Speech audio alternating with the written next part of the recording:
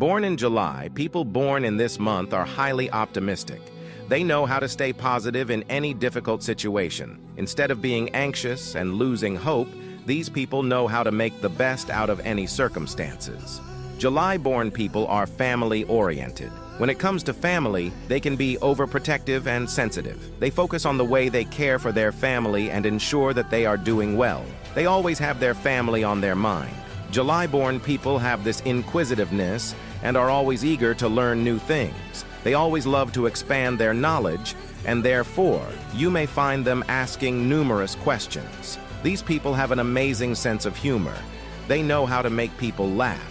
Though you may find them cracking the best jokes ever and making others laugh, they also have a sarcastic side. Their quick and witty replies can knock out anyone who tries to make fun of them and their loved ones. These people have a gentle and empathetic side for others. They understand people's pain and try their best to help the needy.